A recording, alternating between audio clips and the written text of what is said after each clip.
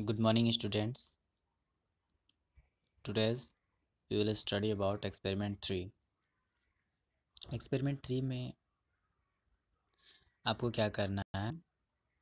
Take a cardboard और wooden box with a glass front आपको क्या करना है? एक कार्डबोर्ड और एक वुडन बॉक्स लेना है। साथ में आ, उसके फ्रंट में सामने में ग्लास लगा होना चाहिए। फिर two white glass tubes in holes at the top top to form chimneys अब चिमनीज को फॉर्म करने के लिए आपको क्या करना है? उसके टॉप में ऊपर साइड में, ऊपर साइड में होल्स में आपको दो वाइट ग्लास ट्यूब्स आपको फिट कर देने हैं।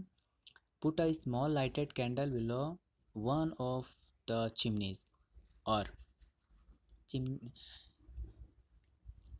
और क्या करना है कि एक चिमनीज एक चिमनीज के नीचे आपको एक छोटी जलती हुई कैंडल को रख देनी है। ठीक है hold a smouldering piece of paper at the top of the other chimney अब आपको क्या करना है कि आपको एक सुलगने वाली पेपर का पीस ठीक है, आपको चिमनी के ऊपर होल्ड करके रखना है।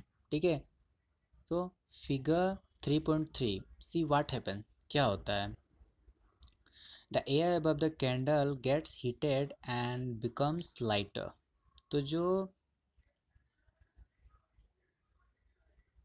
कैंडल के ऊपर जो एयर है, ठीक है, वो गर्म हो जाता है, ठीक है, और गर्म होने के कारण ही वो हल्का हो जाता है। इट राइजेस अप और वो उड़ने लगता है ऊपर की ओर, ठीक है। The smoke from the smouldering paper rises into the box to take the place of the warm air और जो स्मोल्डरिंग पेपर स्मॉल्टिंग पेपर से जो स्मोक होता है, ठीक है?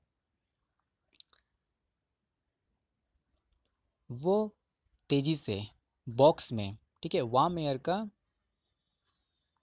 जगह लेने के लिए जाने लगता है, ठीक है? दस एयर करेंट्स आर सेटअप इस प्रकार जो एयर करेंट्स है, वायु का जो प्रवाह है, उसकी धाराएँ हैं, उसको सेटअप की जाती है। आप फिगर में, figure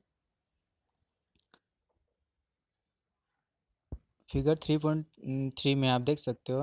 You can see air air currents are formed due to movement of air air currents को फॉर्म किया जाता है, या जो वायु धाराएँ हैं या प्रवाह हैं, ठीक है? वो बनती हैं एयर के मूवमेंट के कारण okay I hope you all students are understood thank you